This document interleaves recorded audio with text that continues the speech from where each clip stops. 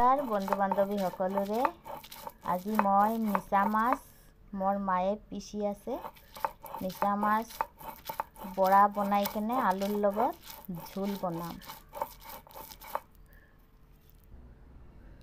তাৰ লগতে মই আদা নহৰু আৰু সৰু জলকীয়া দুইটা দি দিছোঁ।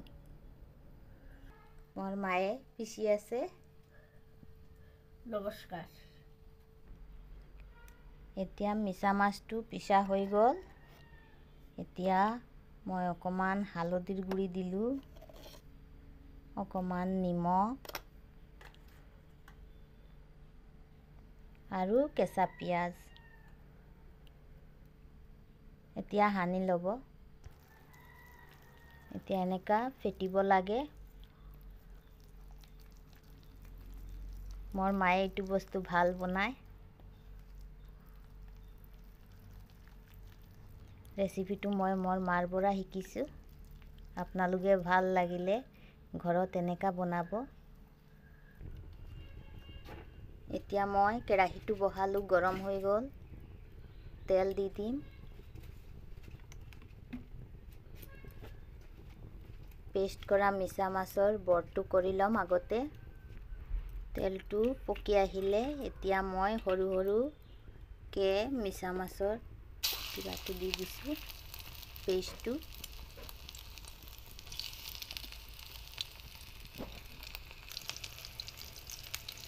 বৰটো হৈ আছে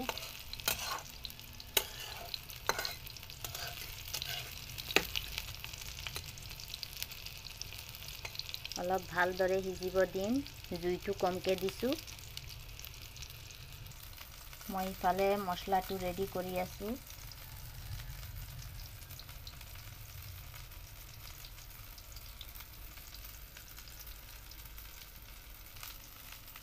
মই প্ৰথমতে হালধি গুড়ি, পৰিমাণ মতো জিৰা, নিমখ, জিৰাৰ গুড়ি,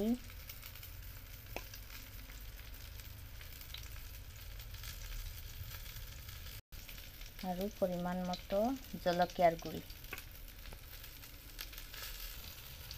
এতিয়া অকণমান পানী দি দিছোঁ।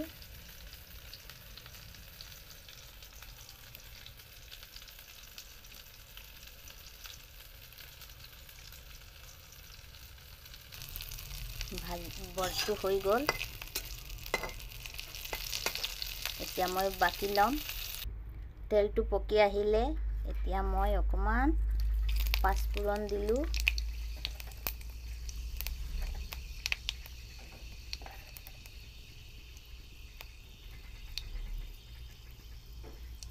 তেজপাত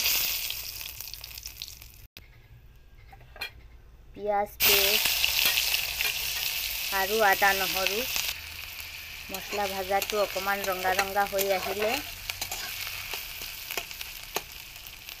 এতিয়া মই ৰেডি কৰা গুড়ি মছলাটো দি দিলোঁ।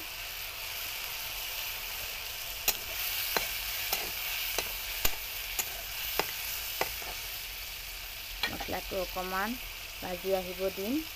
মছলাৰ পৰা অকণমান তেল তেল ওলাই আহিছে। এতিয়া মই ভাজি ৰখা আলুকেইটা দি দিম। আৰু মই এটা বস্তু দিম, বিলাহী পেষ্ট।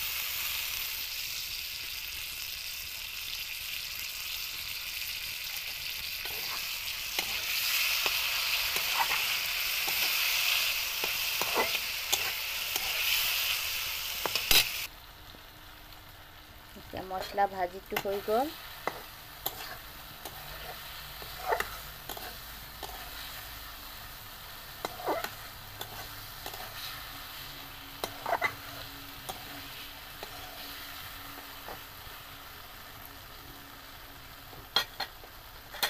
এতিয়া মই তিনিটামান কেঁচা জলকীয়া দিলোঁ।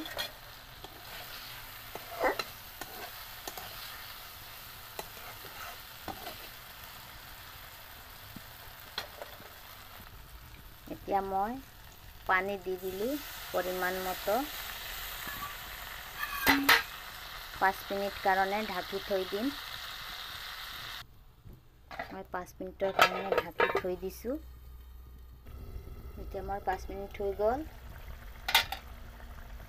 এতিয়া মই অকণমান এলাচ গুড়ি দিলোঁ।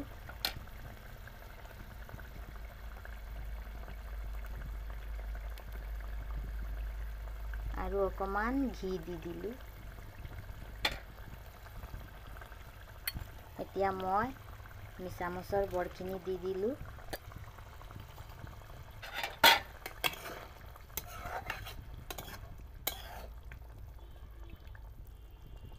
আৰু দুই দুই, তিনি মিনিটমান উতলিব দিম।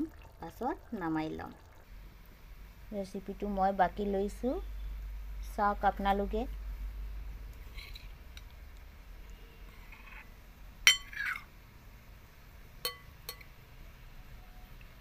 ৰেচিপিটো ভালো লাগিলে আপোনালোকে লাইক কৰিব, শ্বেয়াৰ কৰিব আৰু ছাবস্ক্ৰাইব কৰিব। মই আকৌ বেলেগ ৰেচিপি লৈ আহিম। নমস্কাৰ।